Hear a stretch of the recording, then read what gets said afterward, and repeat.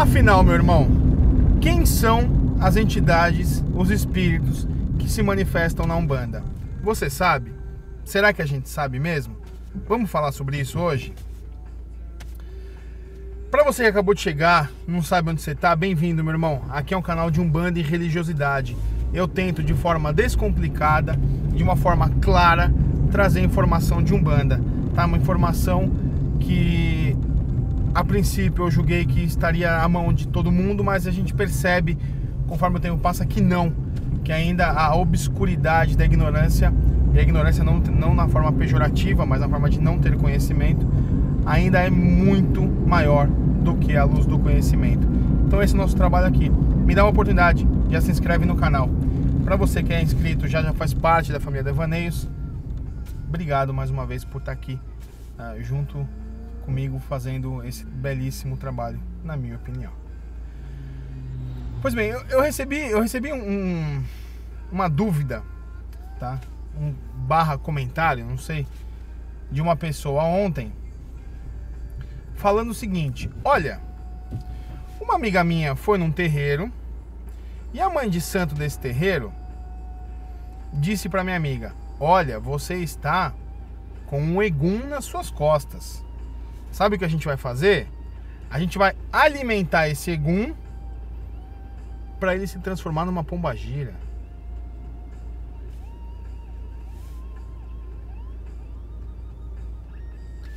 A gente vai alimentar esse egum, esse egum, para ele se transformar numa pombagira. E a questão era essa, assim, poxa, pode isso? Como é que isso existe? Isso funciona? Legal, vamos falar um pouquinho sobre isso. Tá, egum em tese, são todos os espíritos, tá? Dentro do entendimento uh, do candomblé. Egum, então, um caboclo é um egum, um preto velho é um egum, um exu é um egum, um herê é um egum e assim por diante.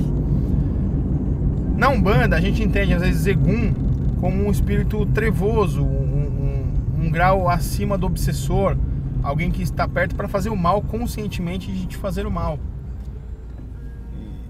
e, e supondo que seja esse o caso, ainda assim a pessoa queria alimentar esse egum para ele se transformar numa pombagira.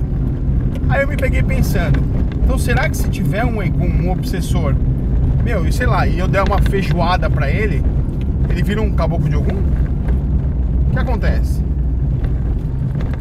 Se eu alimentar o egum com um bolo de fubá, ele vai virar um preto velho? Se eu fizer um peixe, um cuscuz, ele vira um baiano? Olha só, meu irmão. Nós encarnados, tá? Dentro da minha visão, não temos a menor condição, a menor condição de da gente pegar um espírito, falar não, a partir de agora fica tranquilo, meu irmão, desencarnado, você vai virar um caboclo. Para! Para, isso é, isso é evolução astral daquele espírito, não somos nós que decidimos isso. Tá? Então, ah, em poucas palavras, é possível alimentar um obsessor, um egum, para que ele se transforme em uma entidade? Óbvio que não, isso é bizarro, bizarro, bizarro. Isso é. Legal. Aí então a gente entra na questão. Mas então quem são as entidades de Umbanda. Todo caboclo obrigatoriamente foi um índio? Todo caboclo de Ogum obrigatoriamente foi um soldado, foi um guerreiro? Todo preto velho foi um negro, escravo, um ancião? Todo baiano foi baiano? E a resposta é muito fácil, muito mesmo. É claro que não. É óbvio que não. Você desencarna, você trabalha para evoluir, você pratica o bem. Então você vai, ah, conforme o tempo passa, você vai se melhorando. Você vai buscando a sua evolução, ajudando cada vez mais mais espíritos, né? E essa tua evolução, lembrando que os trabalhos no mundo espiritual não, não, não param nunca, eles não cessam né? Então você tá lá uh, trabalhando, trabalhando, chega uma hora que você ganha um grau. Você ganha. Uh, é que nem, sei lá, de repente no, no, exército, que aí você, você sai de cabo pra. Eu não sei qual é a, a nomenclatura acima, enfim. Aí você ganha um grau, um status de Exu. Você ganha um status de preto velho. Você ganha o grau caboclo, o grau preto velho, o grau baiano. E como é que é decidido isso? Alguns fatores. Primeiro é o teu nível evolutivo. Tá? Se na tua evolução você está ah, né, caminhando bem, você pode às vezes, e a gente já sabe que existem casos dele, optar pela por qual grau você uh, vai trabalhar. E como que isso se define? Pela afinidade, a afinidade espiritual, assim como existe a afinidade material.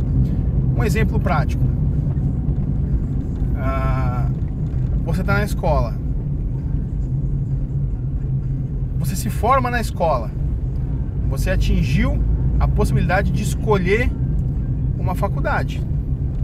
Né? Tem várias opções você opta por aquela faculdade. Então vamos imaginar assim, tá, eu estou na condição de escolher, então eu quero ser um caboclo, eu quero ser um preto velho, entendeu? Eu quero ser um, um mentor no espiritismo.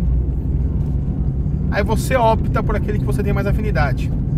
Uma vez lá dentro, você tem uma segunda opção ainda. Qual? Que é a seleção natural. Quando você entra, você começou hoje numa faculdade. Todos são iguais, mas naturalmente vai se for irão se formar grupos, né? Daquelas pessoas que mais se afinizam. É a mesma coisa no mundo espiritual. Em que sentido? Tá, então eu escolhi o grau caboclo.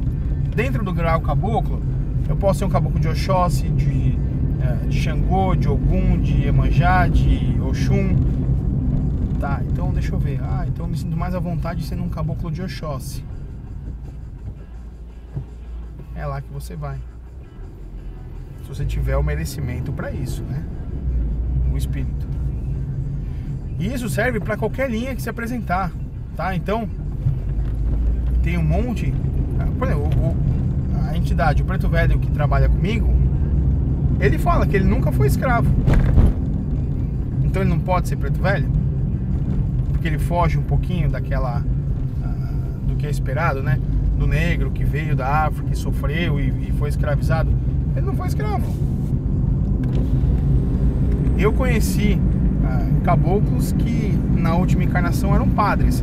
Ah, eu conheci pombagiras que na última encarnação eram freiras.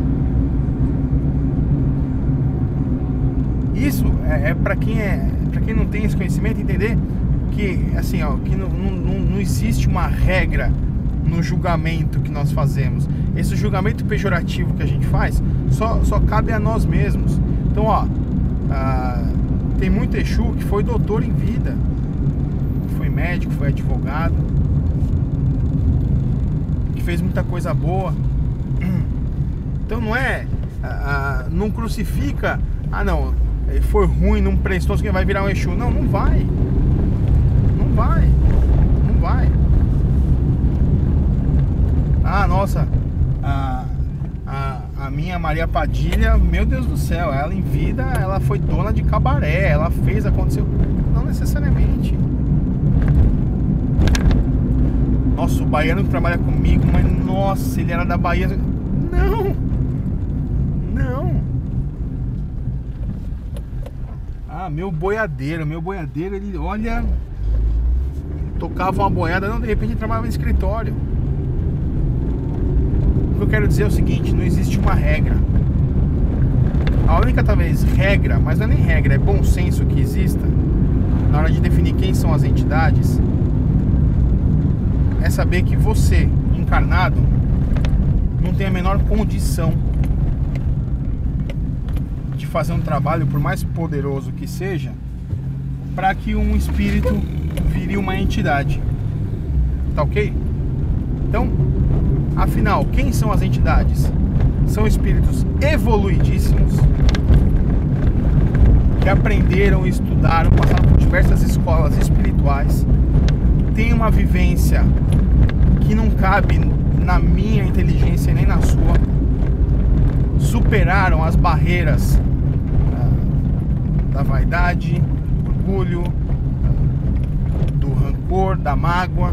Eles não carregam esses sentimentos com eles, que se deixam inundar por sentimentos fraternos de amor, respeito, irmandade, caridade e que vem na Terra para fazer eu e você evoluirmos, fazer eu e você nos encontrarmos enquanto seres humanos. Tá? Então, se o teu caboclo não fala errado, se o teu preto velho não fica curvado, não se preocupa. Isso não faz dele mais ou menos caboclo, mais ou menos preto velho. Eu espero ter dado uma esclarecida nesse assunto. E se preciso for, a gente volta nele. Porque gente precisa disseminar a informação boa. A gente tem que levar para todo mundo a informação boa. A informação de verdade. Eu não quero ser dono da verdade absoluta e não sou. Mas a gente tem que levar uma informação com fundamento, com conteúdo.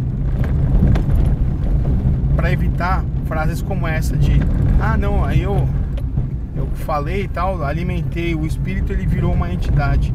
Isso não existe. Isso não existe. Tá bom? Então é isso.